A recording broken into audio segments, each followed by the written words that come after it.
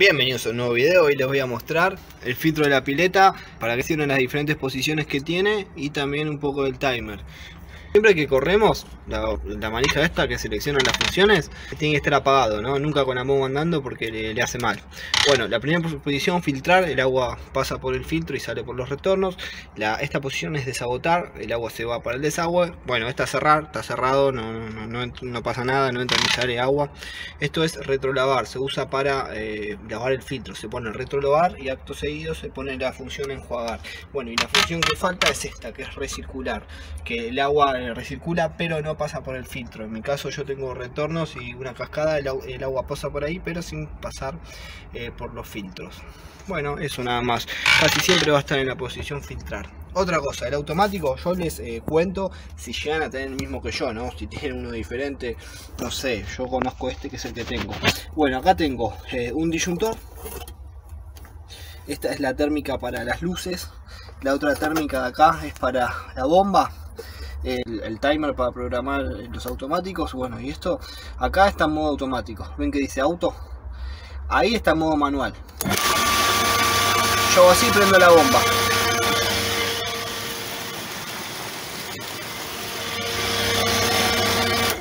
Y bueno, y ahí abajo el cero estaría apagado vamos con el eh, automático o timer programable eh, o, temporizador digital programable, según como cada uno lo llame, es esto de acá. Yo los que conozco son así, yo lo tengo puesto todos los días, hay, bueno, vamos a empezar por cada botón.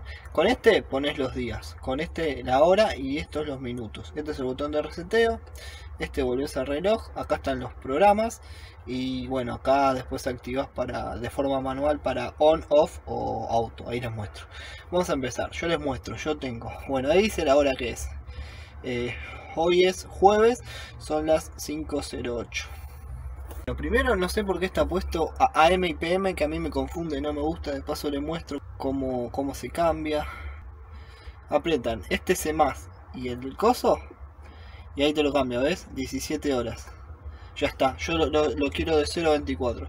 Si no apretan este y este y otra vez lo pone PM. Tienen la opción de poner los 12 horas PM AM o así de 0 a 24. A mí me gusta más así. Bueno, le decía, lo tengo puesto todos los días. Ahí aprieto este de acá y le muestro el programa. Todos los días prende a las 20 horas. Ahí ven que dice on. A la izquierda donde está medio pulgar. Y aprieto otra vez y se apaga a las 21 horas, porque dice off a las 21 horas. Este es el programa 1. Ven que ahí, donde está mi pulgar, dice 1. Bueno, ahora pasó acá. Este es el programa 2, porque acá dice un, 2.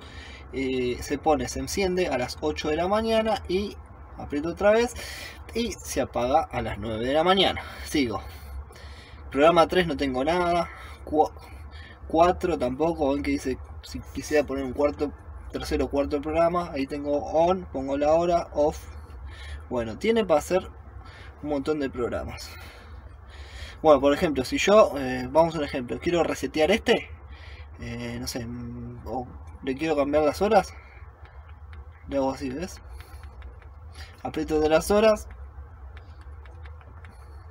y lo cambio, pero vamos a dejarlos como estaba, yo lo quiero acá a las 20.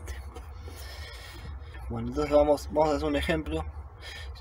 Por ejemplo, lo quiero, no sé, eh, a la que se me encienda, este es el programa 3, vamos a hacer uno, se me encienda a las 4 de la mañana. A las 4 de la mañana y a las 4 y 10 de la mañana quiero que se me encienda, eh, encienda. Y por ejemplo puedo combinar los días, ahí está puesto todos los días, de lunes a lunes, que en general, en general es lo que se usa. Pero ahí está, eh, todos los días menos, menos los domingos, eh, ahí está solo sábado y domingo. Ahí le dejo en pantalla los días, si alguno no sabe inglés, eh, esas dos letritas, qué día significa cada una. Bueno, y tengo un montón de combinaciones, 3 veces por semana, 3 veces por semana pero diferentes días. Ahí estaría, si no me equivoco, martes, jueves y sábados.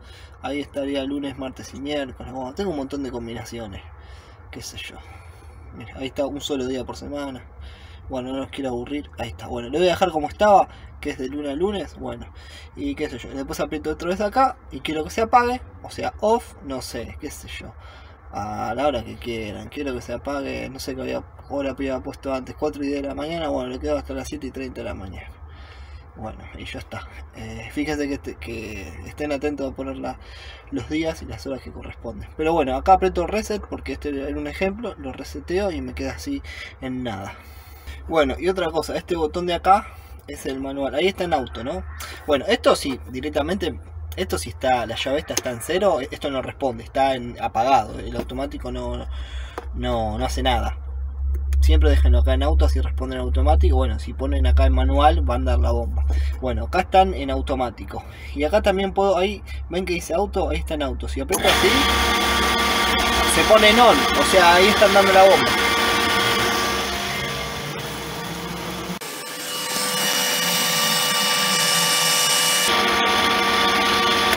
ahí apreté otra vez, está en off. Si lo dejan así en off, no, no va a andar nada, ¿eh?